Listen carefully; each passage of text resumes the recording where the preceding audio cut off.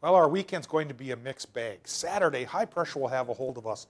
It will be sunny, but there's still a low pressure system looming over towards Colorado, a good zone for the birth of low pressure systems. And by Sunday already now, it looks like it'll be sliding our way. Clouds build in in the morning.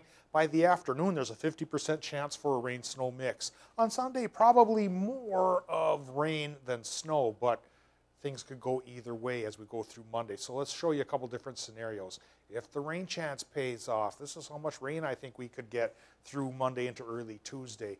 And really, it's only a couple hundredths for some towns to a couple of tenths for others. Not a big soaker. But now, if there's enough snow mixed into the deal here, there is a chance that we could get upwards of two inches along the Canadian border while the rest of us get just a trace. So we're still in April. It's not quite full-fledged spring yet. We still have a slight chance for a little taste of winter weather here Monday night, or actually Sunday night into Monday portions of early Tuesday morning. Okay, let's get a look at the short-term forecast. Tonight, Friday night in Minnesota, low temps will go from the 20s inland to 30s by the lake with a partly cloudy sky.